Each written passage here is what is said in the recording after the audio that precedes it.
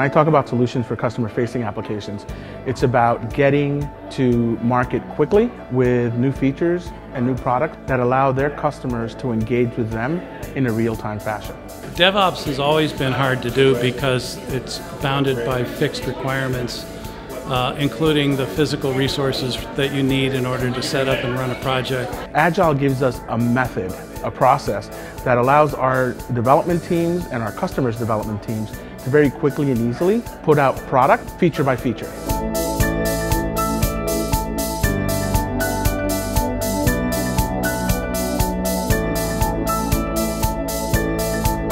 Using an open source project like uh, PostgreSQL furthers that um, agility because you pay only for what you use. In an agile world, EDB Postgres provides an amazing set of core features and extensions that really allow developers to rapidly deliver on initiatives, whether it's a startup or enterprise. I'm not talking about six months, a year long development cycles. I'm talking about 45 days, 60 days, 90 day development cycles. It's important for developers because it really gives them a time to market in the sense of the idea has happened and now they need to deliver on it.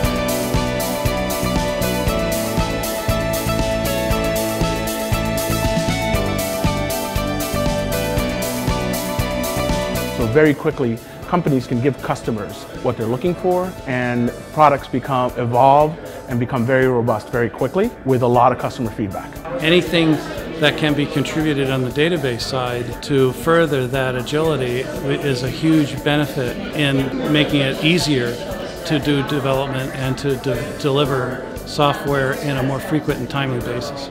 Postgres Plus Advanced Server in a container has all the same capabilities it does on bare metal and on VMs, so it's highly scalable, it's highly reliable. One of the main things for developers is they can pull down a Docker image of Postgres and have that years of reliability built into the image.